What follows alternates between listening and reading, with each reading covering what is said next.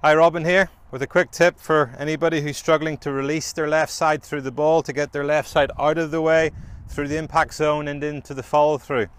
Um, I've seen many times players spending many hours in the range, they're looking good at setup, they're making good backswings and good transitions, they're into a good position here coming into the ball, but they spoil all the hard work with a poor release of their left side through the impact zone when you do, when you don't release your left side through the ball, many things can happen. Just a couple of those common things would be quickly the left shoulder would work up rather than working behind you, causing a sort of tilting back and a hanging back on your right foot. Obviously, this causing poor contact, high, weak ball flights. The left side gets blocked, causes the shoulders to stop moving. Club releases early, causes that early release, scooping. Again, per contact, high weak ball flights, loss of distance. Another one of the com most common ones actually with a, a poor release of the left side through impact and into the follow through would be the chicken wing because the left shoulder not getting out of the way, the left arm's not rotating. There's really no other option than the elbows to separate. Often that goes together with you know high ball flights, weak slices to the right.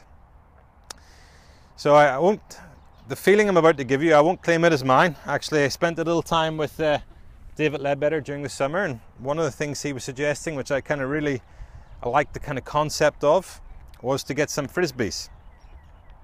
And basically, if you imagine you're on the beach with your friends and you were throwing some frisbees, left-handed, not right-handed, how would you throw them? Now, it'd be quite instinctive. You'd kind of move your lower body first, just the way we'd want to in a swing. You'd start rotating your chest. You'd certainly get your left shoulder out of the way and your left arm would rotate so you could get that flight sort of parallel to the ground with a little bit of power. You would never throw it like this, left shoulder going up or getting blocked. So if you do have a chance, a couple of hoops or frisbees, give it a give it a, give it a try. I've got a bunker behind the camera here, so I'm not going to throw these particularly hard, but give a feeling how you would throw the frisbee.